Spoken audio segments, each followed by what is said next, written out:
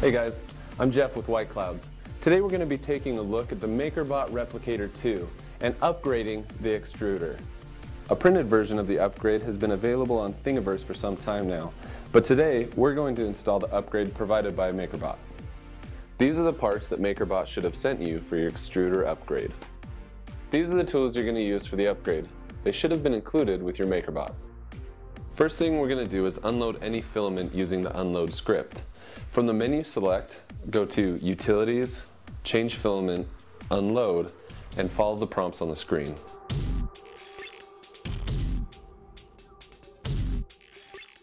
Prior to working on our MakerBot, we're going to want to make sure that we turn it off and unplug the machine.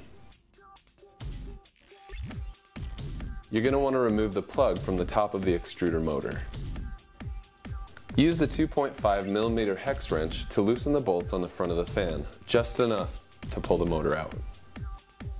Now, slide the motor out of the carriage.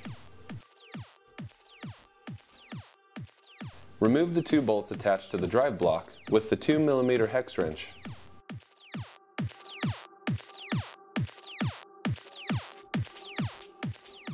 Bolt the new drive block base to the motor with the black flathead bolt, while making sure the other hole from the shoulder bolt lines up.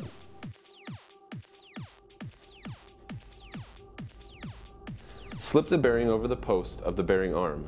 Then press the cover into place, over the bearing, so it fits snugly and flush with the bearing arm. Next, place the spring over the peg on the drive block base.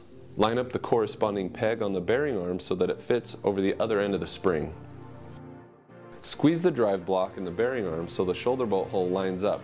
Then insert the shoulder bolt using the 2mm hex wrench and tighten it. Now we're going to return the motor to the Replicator 2. Slip the motor back into the carriage. We're going to retighten the fan bolts and then reconnect the motor plug. You're now ready to load your favorite color filament. You'll load the filament just a little bit differently with the extruder upgrade in place. So run the load script, push the lever down, insert the filament, and now you're ready to go.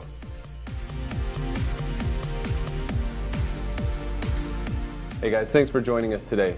Remember, for all things 3D printing, subscribe to our YouTube channel, like us on Facebook, and follow us on Twitter. Thanks.